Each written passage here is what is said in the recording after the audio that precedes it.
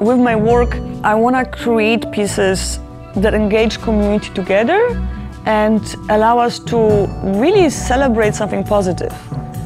And I love seeing how the action of crocheting connects people together.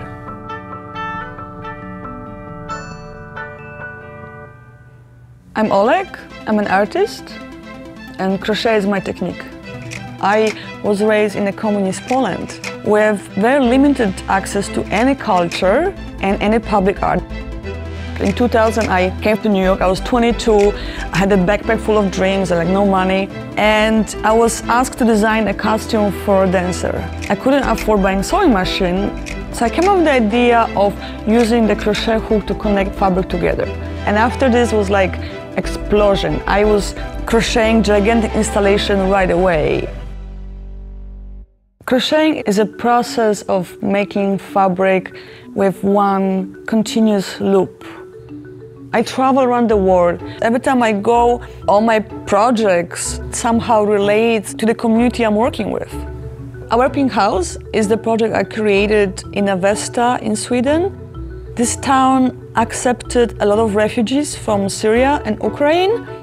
In India, we were crocheting a new skin for homeless shelter.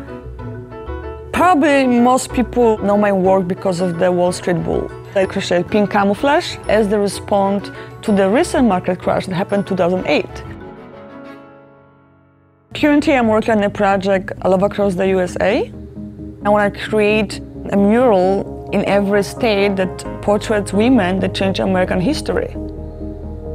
I always create squares or rectangles sometimes, and then when I have enough pieces, I crochet piece by piece together with the help of the local people who want to be part of this action. So first I touch this, I go through this, and then just go on a leaf and install it.